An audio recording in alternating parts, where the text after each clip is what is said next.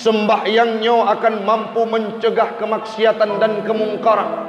Sembahyangnya akan mampu mendidik seseorang menjadi pribadi yang terbaik. Uranya menyena orang yang sembahyang. Gehadap kiblat dengan sip syarat dengan rukun. Artinya kalau prosesi solat mereka kerjakan sebagaimana mestinya yang disampaikan oleh para alim ulama dan guru-guru, yakinlah mereka akan menjadi pribadi yang terbaik dalam kehidupannya. Orang menyaka betul ke sembahyang semecu-mecu hanale. Orang menyaka betul ke sembahyang merampok hanale. Orang menyaka betul ke sembahyang judi hanale. Orang menyaka betul ke sembahyang muzina hanale. Orang menyaka betul ke sembahyang orang syiklun segala kemaksiatan akan terjauhkan dari kehidupan mereka. Siapa yang berkata firman Allah dalam Al-Qur'an?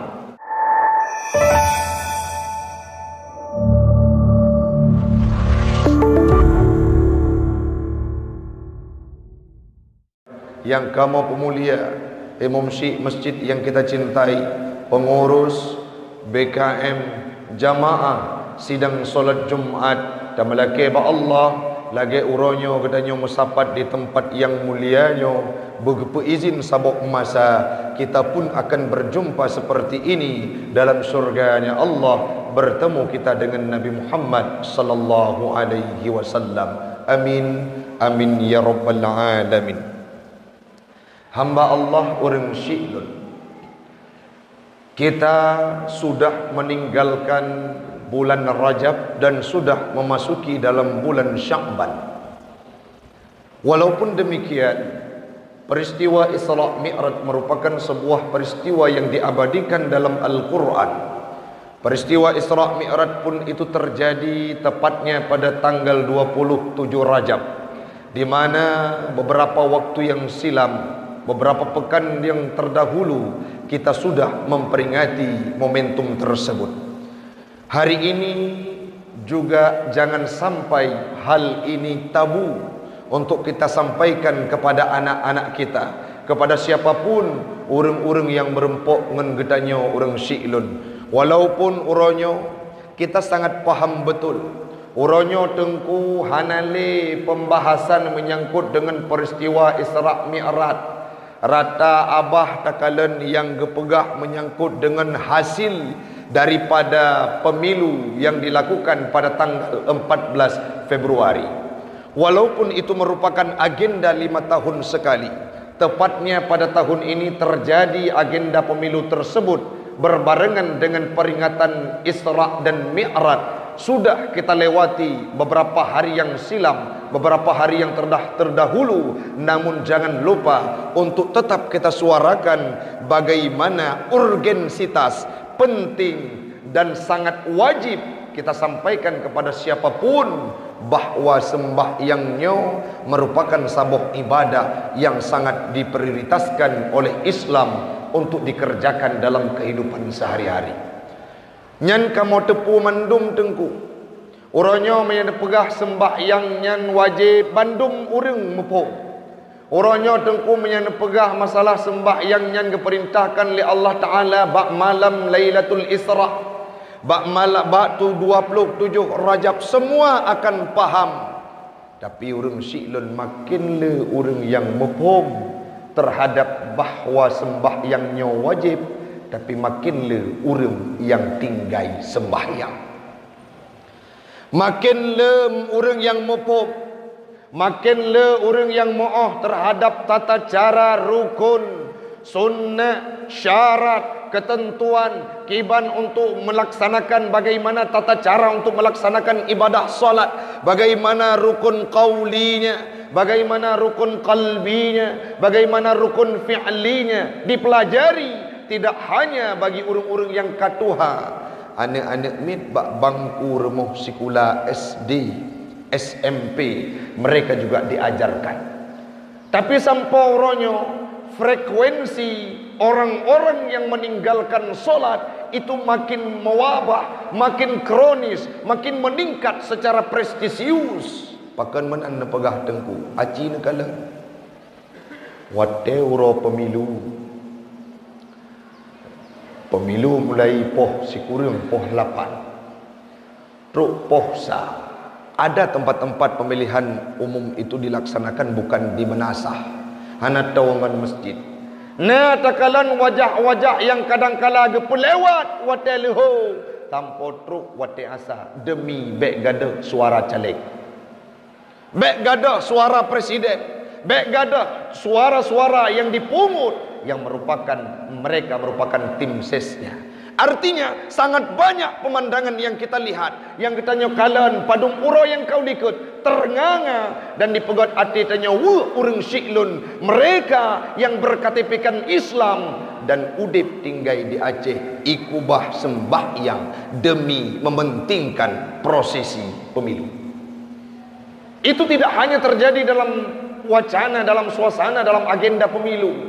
Cukup le tak teme uronyo ne wate-wate jem dikumandangkan azan zuhur apakah semua warung itu kosong? Pukuh kedai kopinya kosong mandum wate gebang lebila di masjid. Hayya ala salat yang bermakna mari kita salat nah kadang-kala yang gepe klo klo drog hangga tim hadir u masjid. Oh gampang kamu ramai yang sembahyang tengku Gampang kamu hanya orang yang tinggal sembahyang menyonyan jet ke asumsi bagi kita nyoban Bandung. Coba kita lihat pemandangan terhadap tiap-tiap menasah musalla masjid yang terjadi yang dipraktikkan di kalangan kita nyornya. Nah, padum-padum moh tempat tengku mungkin gampang lu juga hana jiuh berbeda dengan gampang kita di sini. Artinya apa? Sangat banyak masjid menasak yang tertume wate-wate dikumandangkan untuk ibadah solat. Dikumandangkan azan untuk ibadah solat. Yang sembah yang rata-rata orang yang karap tau dengan kubu. Anak muda ho sibuk dengan kerja. Orang-orang yang kalian mengkawin tubuh mentang tegap ke mana mereka? Sibuk menghabiskan waktunya untuk kegiatan duniawi. Padahal waktu meninggal yang pun gehisap di yaumil qiyamah adalah solat yang kita kerjakan. Untuk penyemangat kita nyoban dumurun si'lun. Nabi Muhammad hana orang yang hana yakin bahawa beliau menjadi penghuni surga. Mandum orang yakin Nabi Muhammad yang gejamin surga oleh Allah. Hangga pertama orang lain segala Nabi Muhammad dimasukkan dalam surga. Sebagaimana dalam sebuah hadis yang disampaikan oleh Nabi. Ada seorang perempuan Al-Imra'ah Badaratni. Ada seorang perempuan yang ingin mendahului diriku. Artinya apa? Dari hadis tersebut legetanya lepah tacok kesimpulan. Yang pertama tamang surga dari kategori manusia adalah Nabi Muhammad. Namun yang terjadi dalam kehidupan Nabi, segala keperintahkan ibadah sembahyang dalam tafsir yang lentuan baca, Nabi Muhammad itu sudah mengerjakan solat sebagaimana syariat-syariat Nabi sebelumnya. Bahkan saat proses Isra Mi'raj, Nabi Muhammad berada di Sidratul Muntaha. Beliau menjadi imam kepada para malaikat untuk melaksanakan ibadah solat dua rakaat. Artinya apa? Nabi Muhammad jauh sebelum diperintahkan solat, beliau sudah menggeluti ibadah solat tersebut. Oleh keperintah pada malam Lailatul Isra, olehnya makin hari berganti hari, Nabi dijamin surga tidak hanya solat wajib yang beliau kerjakan nalun tume dalam sabuk bacaan hadis urung syiklun disampaikan oleh Aisyah kiban Nabi kesembahyang Wate malam kadang-kala lun tuan eh akilun suah lun kuin kejut Nabi Muhammad melaksanakan ibadah solat setiap waktunya. Ada dalam beberapa pendapat sampai bengkak kaki Nabi bak gesujud, geibadah kepada Allah. Saat itu terbangun Aisyah bertanya, "Ya Rasulullah, apakah engkau tidak dijamin surga oleh Allah?" Sehingga ne sembahyang, ne ibadah, hana ne turi wate ya Rasulullah. Ne jawab lina Bukan saya takut tidak dimasukkan dalam surga. Bukan saya takut tidak termasuk dalam kategori ahli surga. Tetapi saya beribadah atas segala nikmat yang diberikan oleh Allah. Sangat luar biasa terhadap kehidupanku. Yang selanjutnya aku ingin membuktikan sebagai hambanya Allah. Yang bersyukur terhadap kelebihan hal tersebut.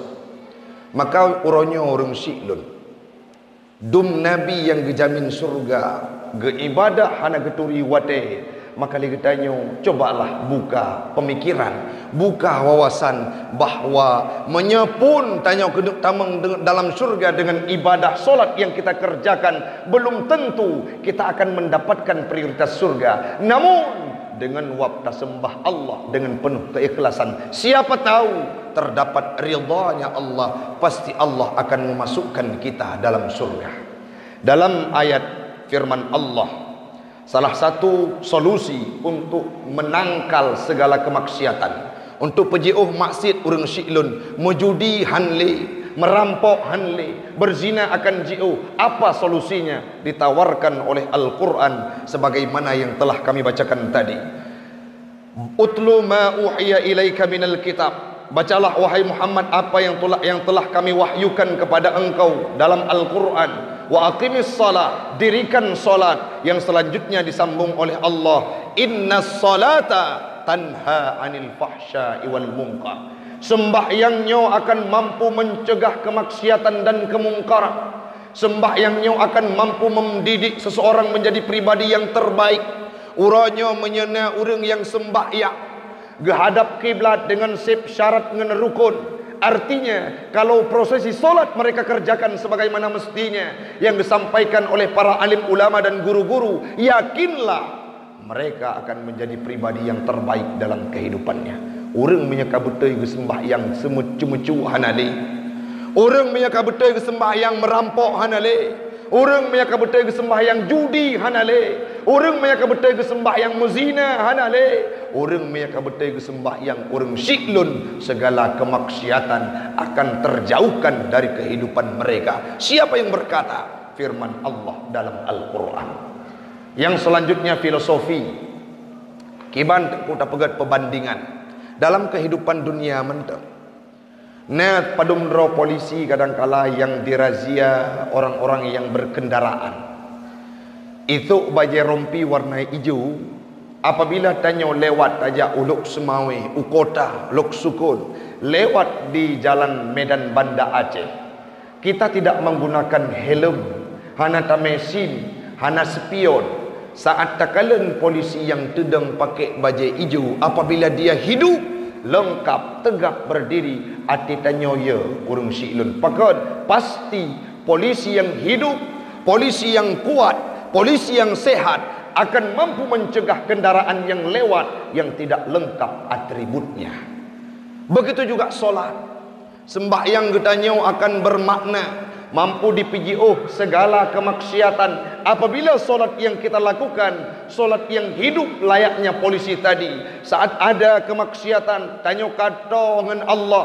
Dengan sebab sujud terus tawaran mari kita berzina. Pasti hati kita akan berkata itu merupakan kemaksiatan yang harus kita jauhi. Syaratnya maka sembahyangnya nepu udip mata batin ruh dan penghayatan.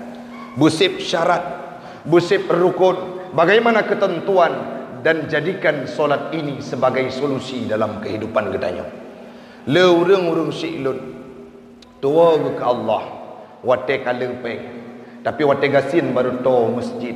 Padahal kondisi yang benar adalah Allah itu selalu hadir dalam kehidupan kita. Wate tengah tapi tak rezeki god lagut di adzan maghrib tok kedai. Budak berangkat ke masjid. Kenapa karena saat kita melaksanakan solat Allah akan hadirkan solusi yang lain dalam kehidupan kita. Tapi yang banyak yang le tanya kalian uronyo urung syiklun makin tahu dengan wate sembahyang dagangan kita pun makin laris.